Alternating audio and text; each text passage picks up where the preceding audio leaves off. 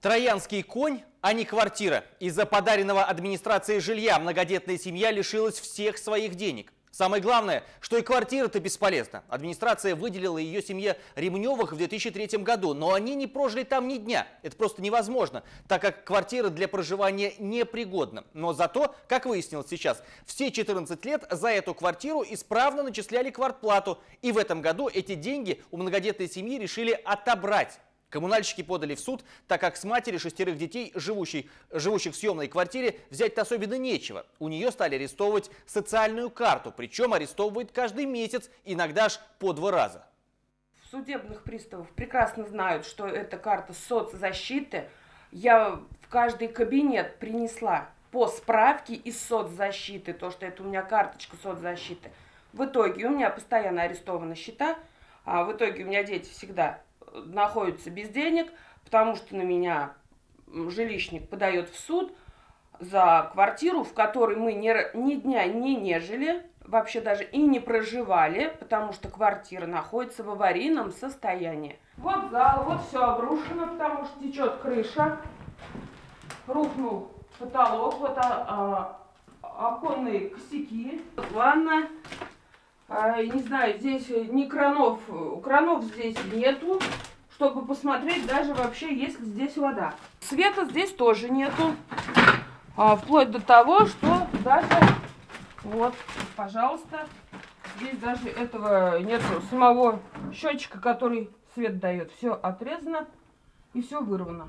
До сих пор приходят квитанции, я, мне насчитывают по 1000 рублей в месяц. А, за квартиру полностью как бы то у меня выходит восемь с половиной тысяч за двухкомнатную квартиру, в которой нету ничего. Ни воды, ни света, ни газа, ни холодной воды, ни горячей воды, ни канализации. Это моя квартира, которую мне дали как многодетной маме троих детей.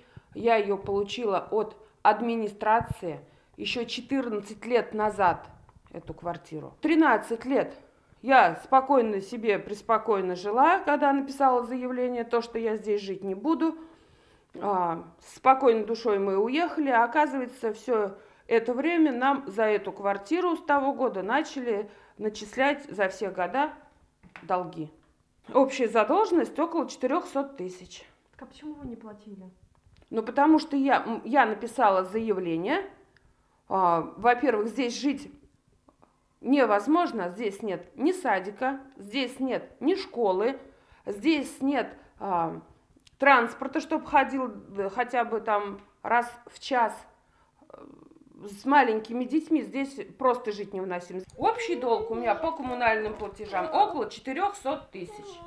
Жилищная компания сказала, что вы все равно будете за это платить. Карточку арестована и у меня, и у старшего сына, и у второго сына. У меня эта карта была для стипендии. Мы же по одной прописке-то живем, мы же все вместе живем. И они одновременно на всех подают в суд, и одновременно у всех на одну сумму арестованы деньги. Сбербанк взяла выписку. 13 арестов было наложено в этом году на детскую карту. Там написали, что карта социальная. Справки я уже в каждый кабинет привезла. Так, судебный пристав, конечно, при таком количестве должников не может вас одну запомнить. А Поэтому, вот у вас там как-то это, я не знаю, сожалению, не от меня это зависит, да, такая проблема есть, с этим сейчас разбираются, но пометить возможности нету. Как вам арестовывается, вы опять подтверждаете, но я так поняла, пристав вас уже знает по телеф... Меня телефону, уже все знают. по телефонному звонку можно это решить, ну как бы обозначить себя, судебный пристав среагирует. Представители местной домоуправляющей компании непреклонны в своем требовании вернуть деньги. Правда, комментировать они это не хотят. Я бы вот хотела узнать, за что такие суммы подают в суд. Какие суммы и по какой статье? 400 тысяч там у по меня. По какой статье? А я не знаю по какой. Не надо, не надо в наглую. Не надо в наглую. Вы что в самом деле? Не надо в наглую Нагло делать. Вы себя ведете. Это вы в наглую. В местной администрации говорят, что может быть заявление об отказе от квартиры и коммунальных услуг и было написано Натальей Ремневой, но написанное за 13 лет оно куда-то потерялось. А с 2003 года весь состав администрации поменялся. В соответствии с жилищным кодексом у нас ни наниматели, ни собственники жилых помещений, которые не проживают, они не освобождаются от уплаты а, коммунальных каких-то услуг или чего-то там нет.